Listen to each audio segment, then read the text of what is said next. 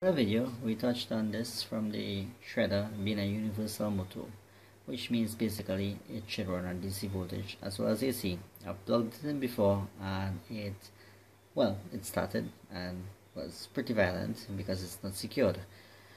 So what I'm going to try to do now is run this off on a computer power supply, that's 12 volts, the yellow one, the black there, and touch it I hopefully got the right orientation. If not I'll just do the opposite direction because there's a switch and there's a limit switch there that was used to determine when it's it has paper below.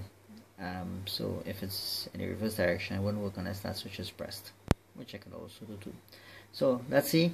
Will this run on 12 volts DC first problem is that's a low voltage.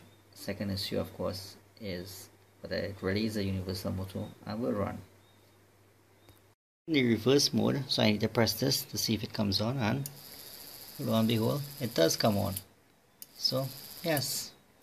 Confirm universal motor and it is possible to run it on 12 volts.